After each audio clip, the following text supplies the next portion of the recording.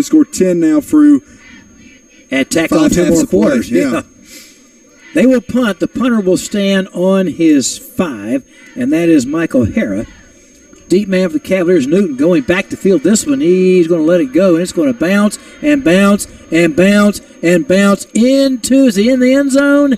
Yes. Boy, barely. I mean, barely. On his 37, and that punter is Christian Irvin. Darian Newton stands on his 10, and the punter's got a nice stiff wind behind him.